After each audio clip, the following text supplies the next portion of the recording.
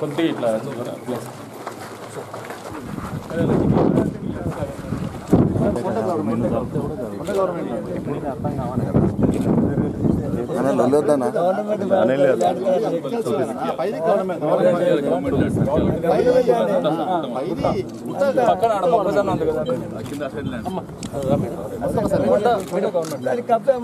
దానికి తీసుకున్న ఆయన ఎవరు?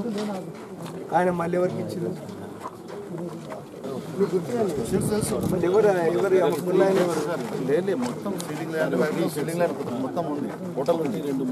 కొద్ది పెద్ద మనిషి కొద్దిగా వెనకాల రియాజ్ భాయ్? వస్తున్నాను వెనకాల వస్తున్నా.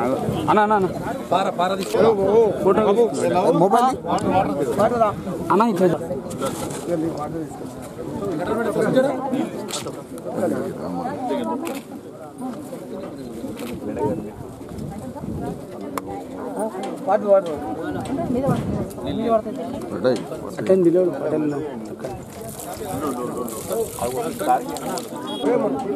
విటిల్య కంసాన్పల్లి గ్రామ పెద్దలకు అందరికీ మనస్ఫూర్తిగా అభినందనలు ఇందులో సర్పంచ్లు ఉప సర్పంచ్లు ఎంపీటీసీ వార్డు మెంబర్స్ అందరూ ఉన్నారు. అయితే ఇక్కడ మీకు అందరికీ తెలుసు మనం సిమన్ బ్యాంక్ ఈరోజు కరీంనగర్లో ఈ దేశంలోనే గర్వపడే విధంగా మనకు సిమన్ బ్యాంక్ ఉన్నటువంటిది కరీంనగర్. ఆ తర్వాత ఇక్కడ ఫైనలైజ్ చేసిన తర్వాత మరి దగ్గర దగ్గర ముప్పై ఆరు ఎకరాలు ఈ ప్రాంతంలో.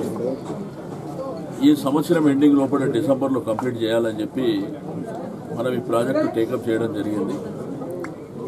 ఒకవేళ ఈ యొక్క సిమెంట్ బ్యాంక్ ఇక్కడ వచ్చిన తర్వాత ఏంటంటే తప్పకుండా ఈ రెండు గ్రామాలు చాలా బ్రహ్మాండంగా డెవలప్ కావడానికి అవకాశాలు ఉన్నాయి.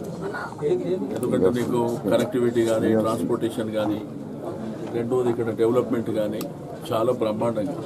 ఎందుకంటే నీకు విటిల్య నుంచి నీకు ఎన్ రూట్లో మనకు కంసాన్పల్లి వెళ్ళొచ్చు కదా. కాబట్టి ఆ పద్ధతిలో కూడా డెవలప్ కావడానికి. రెండోది ఇది పశువుల కోసం.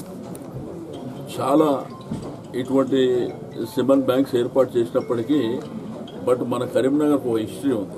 కరీంనగర్లో ఉన్నటువంటి ఈ వేరే కెనాల విషయంలో మరి ప్రభుత్వం తీసుకుంటున్నటువంటి రెండోది డిపార్ట్మెంట్ తీసుకుంటున్నటువంటిది ఈరోజు వేరే మన స్టేటే కాకుండా వేరే స్టేట్లో ఉన్నటువంటి యానిమల్స్ కూడా మనం సప్లై చేస్తాం అయితే దానికంటే బెటర్గా ఈరోజు ఇండియాలో ది బెస్ట్ వస్తుంది ఇక్కడ.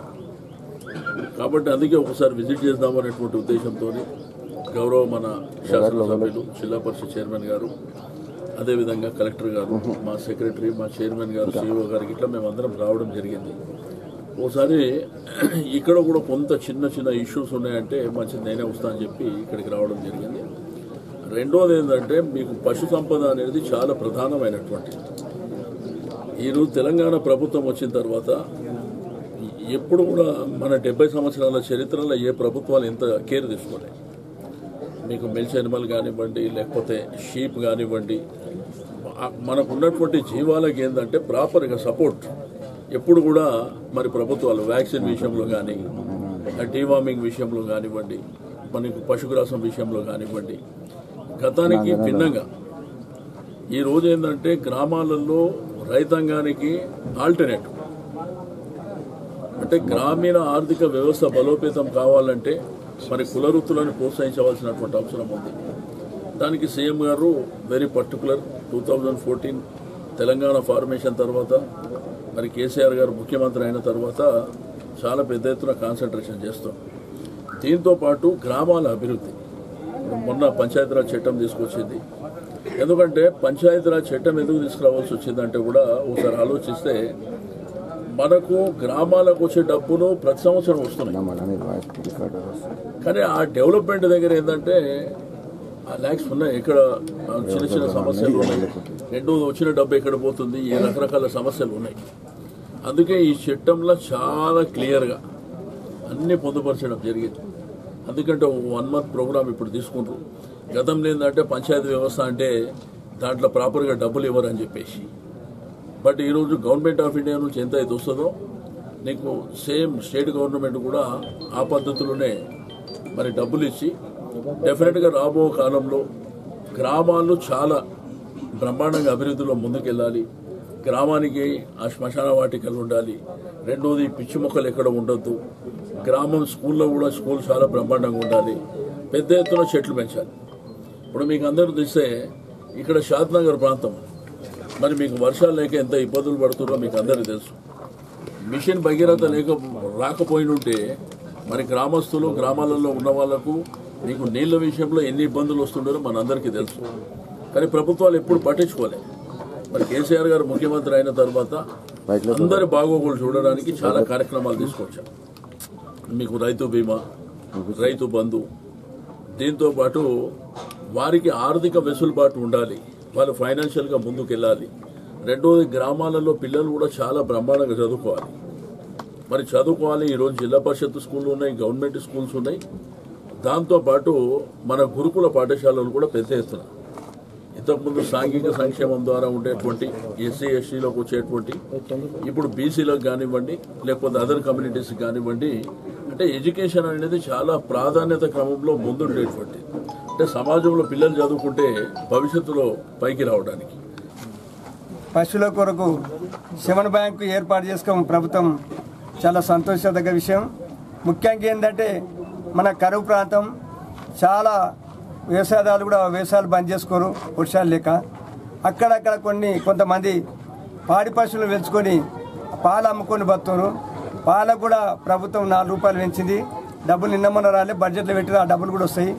కాబట్టి ఇటువంటి పాల మీదనే ఎక్కువ ఆధారపడమని రైతులకు ఈ సెమన్ బ్యాంక్ ఉంటే ఎంత సౌకర్యం అంటే ఆ సెమన్ దేవాలంటే ఇప్పుడు కరీంనగర్కి దేవాలి ఇక్కడ. ఆ రవాణా టైం అదే టైం చాలా రోజులు పట్టుకోమలా కొన్ని సెమన్ ఇచ్చినప్పుడు కూడా ఫెయిల్ అయిపోతున్నాయి కొన్ని. అట్లా కాకుండా మన ప్రాంతాన్ని సెమన్ బ్యాంక్ అయినందుకు చాలా మన అదృష్టం. చాలామంది పాడి రైతులకు కూడా అదృష్టం.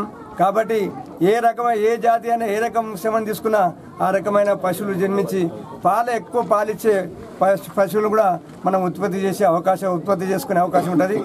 ముఖ్యంగా ఈ సెమన్ బ్యాంకు ఎంతవరకు వచ్చింది ఏం జరుగుతుందని పరిశీలించుటకు మన రాష్ట్ర పశుసంవర్ధక శాఖ మాతులు శ్రీ తలసా శ్రీనివాస్ గారు వచ్చారు.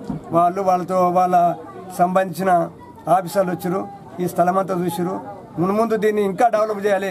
ఇక్కడ ఉన్న గుట్టలను కూడా తీసుకొని ఇక్కడ ఉన్న గ్రాస్ గడ్డి పెంచాలి. కొన్ని ప- పశువులను పెంచాలి. అనే ఉద్దేశంతో ఈ ప్రభుత్వం ఉన్నది. కాబట్టి తప్పకుండా మా ప్రాంతం దీని ద్వారా మా అదృష్టంగా భావిస్తాం. తప్పకుండా డెవలప్ అవుతుంది.